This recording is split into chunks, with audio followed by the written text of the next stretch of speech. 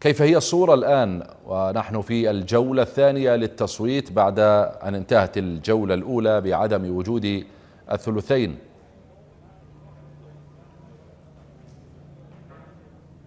نعم زميلي يعني لربما الصوت يتقطع غير واضح ولكن أنا فهمت مضمون.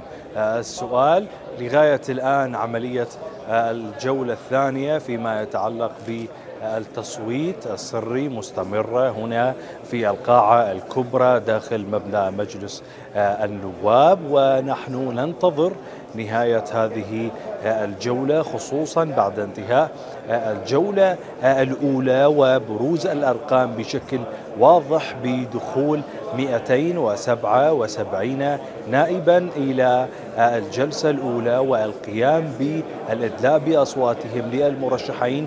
المرشحون كانوا 41 مرشحا. تقسمت الأصوات على عبد اللطيف رشيد ب 156 صوتا وسيد برهم صالح ب 99 صوتا وبقية المرشحين أيضا حصلوا على أصوات أخرى. فبالتالي نحن الآن في الجولة الثانية. الجولة الثانية هي بين السيد برهم صالح وكذلك السيد عبد اللطيف رشيد خصوصا وهم حصلوا على أعلى الأصوات. بالتالي تبدأ عملية الانتخاب بينهما من جديد بانتظار وصول من يحصل على الأعلى أصوات بينهم من أجل الظفر بالمنصب الجولة الثانية أيضا بدأت بنصاب آه، تحقق خصوصا وأن المحكمة الاتحادية حددت النصاب ب 220 نائبا. بالتالي هذا الأمر تحقق في الجولة الأولى ب 269 نائبا أو 277 نائبا بعد ذلك أصبحوا. والآن تحققت في الجولة الثانية ب 242 نائبا. بالتالي نتحدث عن زيادة ب 22 نائبا عما يفترض أن يكونون حاضرون في الجلسة وكذلك التصويت في الجولة الثانية ننتظر خلال هذه الدقائق الانتهاء كم من, كم من المتوقع بدر أن تستمر هذه الجولة من, من وقت؟ اليوم البدء بعملية فرز الأصوات وبيان من حصل بدر هل تسمعني؟ بين المرشحين. بدر هل نعم كم من المتوقع أن تستمر هذه الجولة إذا ما قورنت بالجولة الأولى؟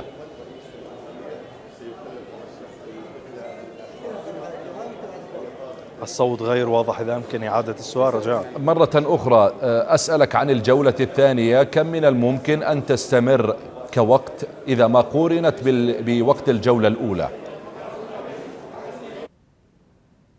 يعني زميلي آه، منطقيا هنا وكذلك حتى فيما يتعلق بجدول الأرقام قد لا تتأخر الجولة الثانية بوقت طويل وكبير خصوصا وأنها تتعلق على انتخاب لمرشحين اثنين. بالتالي تكتمل عملية آه، التصويت للمرشحين ومن ثم البدء بعملية فرز الأصوات ومن ثم الاحتساب على لوحة تسمى بالصبورة وبالتالي سيتبين من حصل على أعلى الأصوات فيعني لغاية الآن نحن ننتظر يعني الجولة الثانية بدأت عند الساعة الرابعة وعشرة دقائق يعني آه، لغاية الآن ساعة تقريبا مضى على الجولة الثانية فبالتالي نحن نعم. الآن في الدقائق الأخيرة للجولة آه، الثانية فيما يتعلق بالانتخاب لمنصب رئيس الجمهورية ننتظر في هذه آه، الدقائق انتهاء عملية التصويت أيضا السري هنا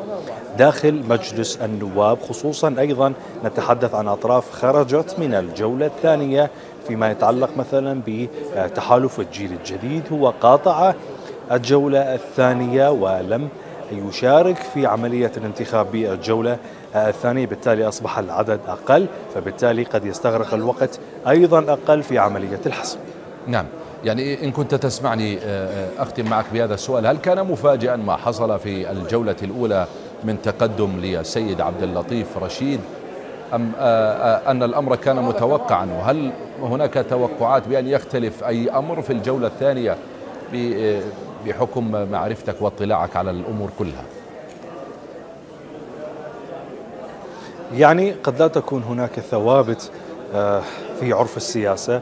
ولكن التوافقات كانت حاضرة المؤشرات كانت ظاهرة فيما يتعلق بالاتفاق على مرشح تسوية وهو السيد عبد اللطيف رشيد خصوصا بعد تنازل الديمقراطي الكردستاني عن مرشحه ريبر أحمد وأيضا إعلانه بشكل رسمي التنازل عن الترشيح. بالتالي أغلب القوى السياسية اتجهت نحو آه، اليوم الذهاب لدعم مرشح آه، الاتحاد أيضا هو آه، عبد اللطيف رشيد هو ليس من الديمقراطي الكردستاني ولكن ليس من الاتحاد الديمقراطي عفوا. فبالتالي اليوم الاتحاد هو لغاية الآن مصر على برهم لم يتنازل عن برهم صالح. ولكن كل المؤشرات كانت تشير بأن قد تميل الكفه لصالح عبد اللطيف رشيد. وبالتالي هذه النتائج ظهرت كما يعني كان يتوقع عدد من النواب هنا. ننتظر أيضا التوقعات فيما يتعلق بمخرجات الجلسة نعم. الثانية التي قد لا تبتعد